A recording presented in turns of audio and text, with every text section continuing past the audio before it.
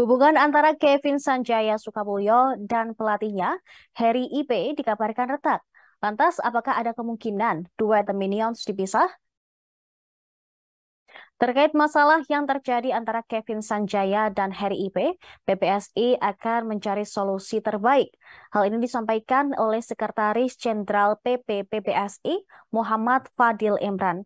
Pasangan Kevin, yaitu Marcus Fernaldi Gideon, tetap berada di bawah asuhan Harry Ipe. Bahkan ia tetap berlatih di Platnas Cipayung. Soal kemungkinan memisahkan duet Kevin Sanjaya dan Marcus Gideon, Fadil Imran mengatakan bahwa ini merupakan ranah Kepala Bidang dan Pembinaan Prestasi Rioni Mainaki. Terdekat, Kevin Marcus dijadwalkan berlaga pada turnamen Denmark Open 2022. Turnamen bulu tangkis kategori BWF World Tour Super 75 maksud kami akan digelar dan diselenggarakan di Odense, Denmark pada 18 hingga 23 Oktober mendatang. Fadil Imran berharap masalah tersebut tidak mengganggu persiapan Kevin Marcus menjelang turnamen tersebut. Terlepas dari kabar retaknya hubungan dia dengan Harry Ipe, Kevin Sanjaya dan partnernya Marcus Gideon kini tidak lagi menyandang status ganda putra nomor satu dunia. Duet perjulukan The Minions itu turun satu posisi saat men, saat ini menempati peringkat kedua dunia BWF. Adapun ranking satu dunia menjadi milik pasangan ganda putra Jepang yaitu Takuro Hoki dan Yuko Kobayashi.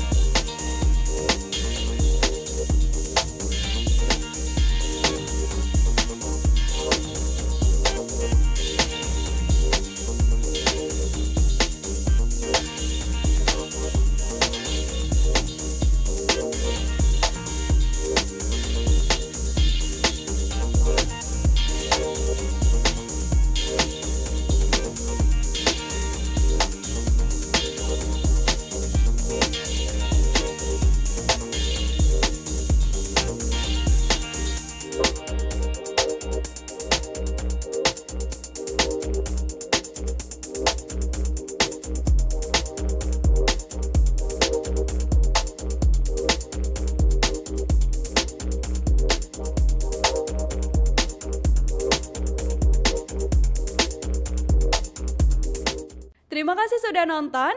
Jangan lupa like, subscribe, dan share ya.